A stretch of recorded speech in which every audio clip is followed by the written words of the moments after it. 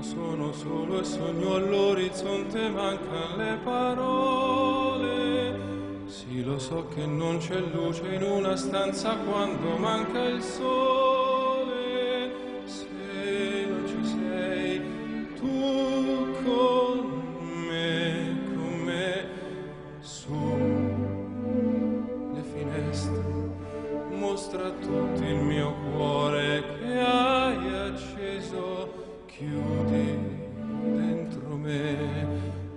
Luce che hai incontrato per strada.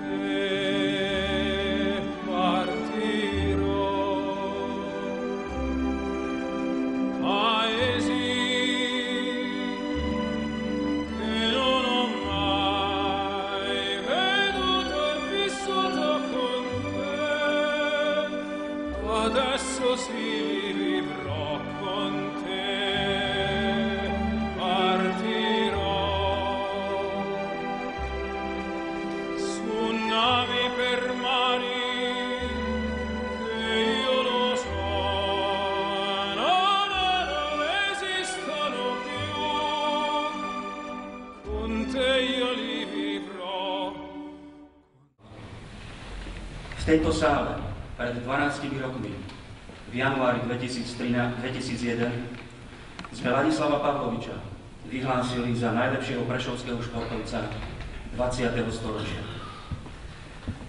Nikdy nezabudnem, ako sme vtedy po slávnostnom akte sedeli s dnes už nebohým Igorom Novákom, ďalším slávnym futbalistom. O svojom veľkom predchodcovi povedal, pamätám si, keď hral rozlúčkový zápas. Ľudia vyseli na stromoch, aby mohli vidieť hrať ho ešte raz.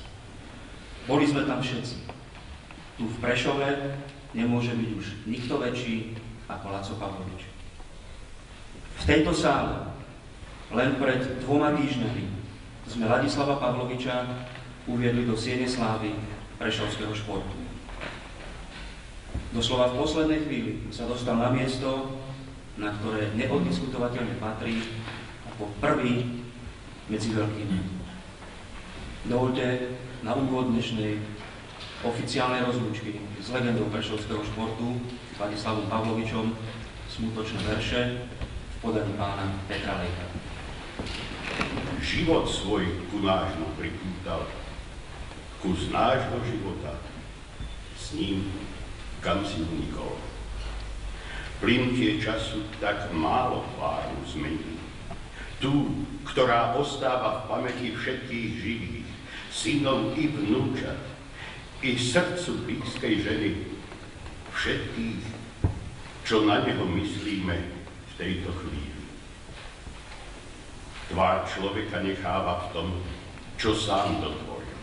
V obeciach, ktorých sa dotýkal dennodenne, na koho myslieval, pre koho vôbec žil. Dielo, čo po sebe necháva dovršené. Už s Bohom nad rakvou, pred cestou bez návratu. Bolesným pohľadom navždy sa rozlúčime. Podajme ruku tým, čo nesú jeho straty. Vladislav Pavlovič bol Prešovčan. Prešovčan telom aj dušou.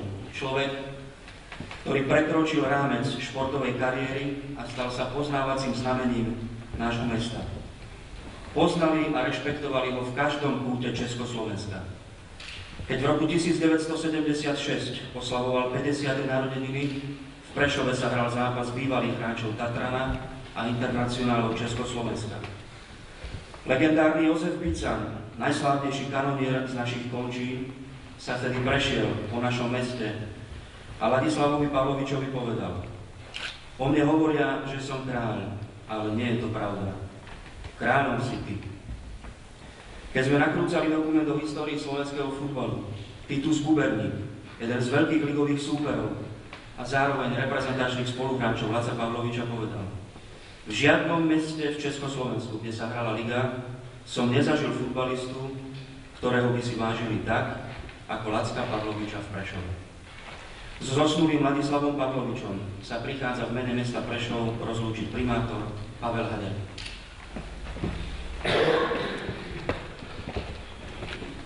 Neexistuje prešovský šport bez prešovského futbalu. Nie prešovského futbalu bez mena Ladislav Laci Pavlovič. Výnimočná osobnosť, ktorá sa narodí raz za 100 rokov Prešovský futbalový cár, kráľ československých strelcov.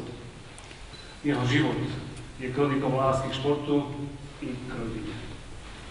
Pri jeho hre či góloch urácali 10 tisíce Prešovčanov a hnali zelenobielých poňarov dopredu. Hrou a gólmi rozdával radosť i šťastie. Bol symbol pre mládež i ďalšie futbalové generácie. Laci bol dôkazom toho, bol posolstvom toho, že aj naše mesto má futbalový géniel. Okrem zeleného bieleho koňarského dresu nosil aj ten zlevo národy. Vyniesol futbalový Tatran na československý futbalový Olymp. Zvyknutý vyhrávať a vyhrávať. No bohužiaľ, ten náš zápas pozemský, ľudský sa vyhrať nedá. Priatelia, nadišla chvíľa, keď sme nútení prijať zákon života. Mors ultima lináre, smrť je konečná čiara za všetkým. Život sa míňa neuveriteľnou rýchlosťou, všetko ľudské je krátkodobé. Takéto chvíľa sú momentom aj pre nás. V praxi a na prax sa obrátiš. Je to memento lásky k blížnemu i pokoj k životu. Milý pán Ladislav Pavlovič, lúčim sa s vami v zastúpení mesta, mene fanúšikov i mene tých, ktorí vás zmožňovali ako našu najväčšiu futbalovú osobnosť. Svojou hrou ste rozdávali radosť, boli vzorom pre mladých i ďalšie futbalové i nefutbalové generácie. Dnes vzdávame ústu futbalovej legende, no zároveň manželovi, otcovi, detkovi, pradetkovi i bratovi. Človeku s neuveriteľným dobrým srdcom. Vzdávame ústu človeku, ktorý sa do veľkej knihy života nášho mesta zapísal zlatým písmom, férovou hrou i krásnym výbolom. Krásnu otec rodina, príjmite teda prosím úprimné slova mojej najhlbšej sústrasti nad vašou, no aj našou prešovskou stratou. Priatelia, do nenávratna plinie krása a voňa kvetov. Veď zákon je dočasný a človek, naplniaca jeho život, odchádza. To, že odchádza, ešte neznamená, že my zabudneme. Slovami klasika Vitam otvorum i memoriam vivorum exposita. Život zomrelých však pretrvá v pamäti živých. Jedna ľudová múdrosť hovorí, keď nás prichádza malý človečík, plače, no všetci okolo sa usmívajú. Či tak, aby keď budeš odchádzať z tohto sveta, všetci plakali a ty sa mohol usmievať. Už, milý Aco, nám sa to podarilo. Tam z hora, z futbalového neba sa na nás môžete spokojne usmievať. A celý Prešov plače. Priatelia, Maco Pavlovič rozohral svoj nový nebeský futbalový zápas. Tam hore na Božom ihrisku. Bohužiaľ, ten jeho pozemský skončil v 87. minúte. To počul pokoj, čest jeho futbalovej morskej pamäti.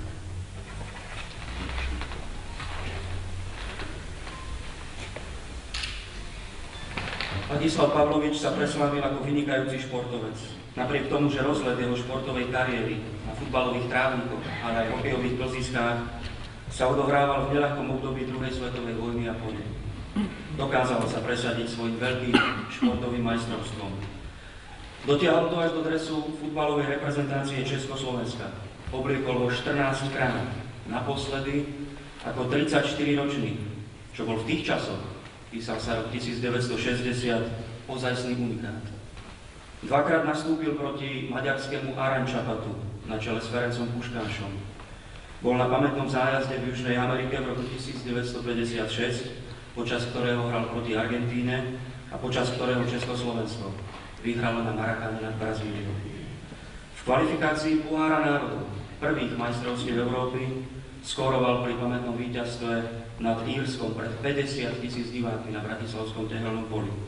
A rozradostení fanúšikovia, medzi nimi aj neskôr známy reprezentačný obranca Jan Zlocha ho odnášali z ihliska na rukách. S reprezentáciou sa rozlúčil gólom do siete Francúzska na marsejskom Stade Velodrom v zápase o bronz na majstrovstvách Európy 1960. Za slovenskú futbalovú verejnosť sa so zosnulým Vladislavom Pavlovičom prichádza rozlúčiť generálny sekretár Slovenského futbalového zväzu Jozef Kliment. Vladislav Pavlovič bol je a bude symbolom športového lokál patriota v tom najkrajšom slova zmysle, o čom sa mali možnosť presvedčiť aj prešovskí hádzanári, hokejisti a iní športovci, ktorých tiež chodieval pozbudzenosť. Bol príkladom na ihrisku i mimo neho, nikdy nebol vylúčený. Ako zásluhe mu v roku 1996 Slovenský futbalový zväz udelil ako jednému z prvých cenu Fair Play doktora Ivana Poláka. Bolo to len jedno z mnohých ocenení, ktoré mu boli právom udelené.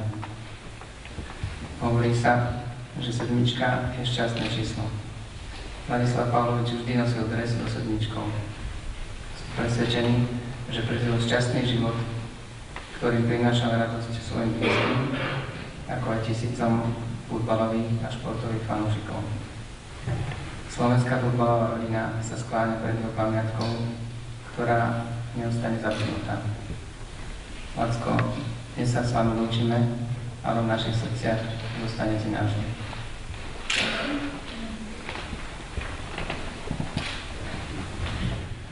Tatran sa stal v bývalom Československu jednou z bášt futbalu, futbalu, ktorého renomé malo celosvetový rozmer. Históriu Tatrana Prešov predkalo množstvo velikánov.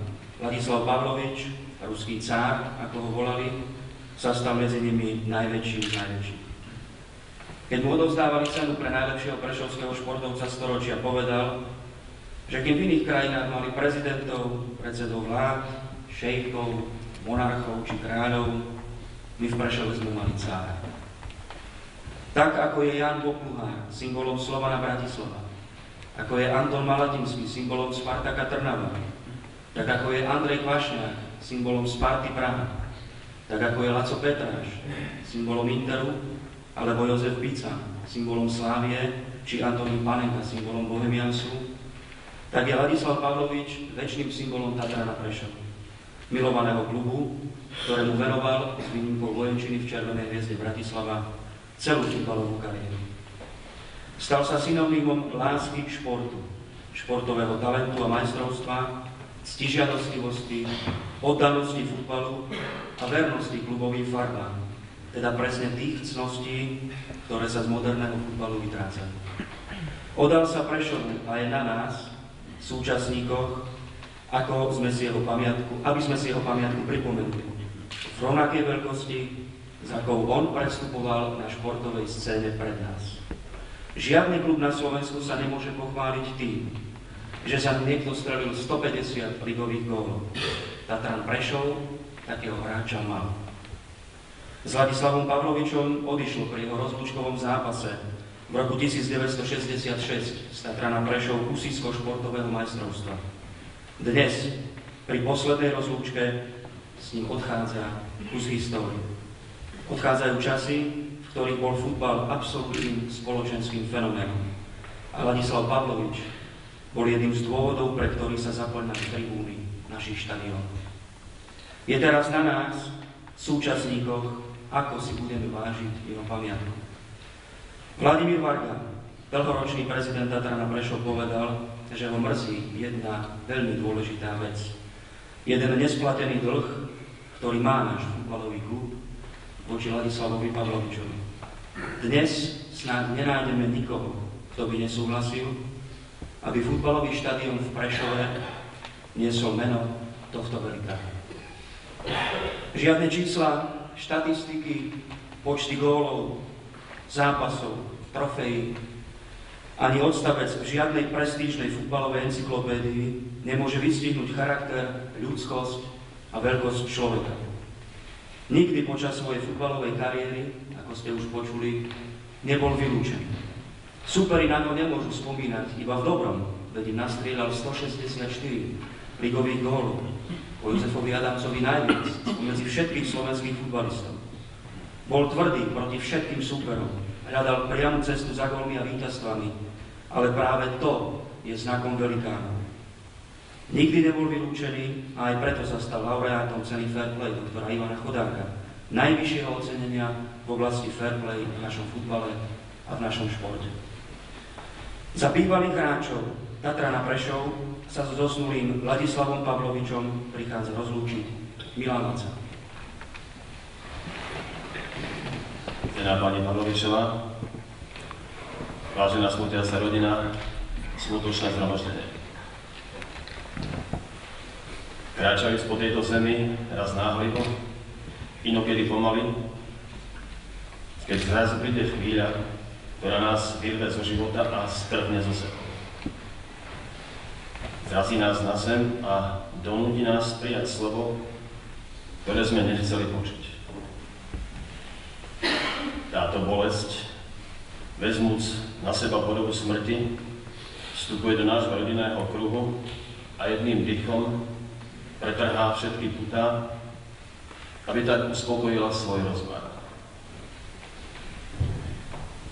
Ticho a pokora nás dnes spojili pri katafalku drahého človeka, manžela, otca, detka, ale aj snáď najmä skvelého, nezabudnutelného športovca, legendárneho futbalistu, výborného trénera pána Laca Pavloviča, ktorý dokázal celým svojim životom, že nežil nadarmo.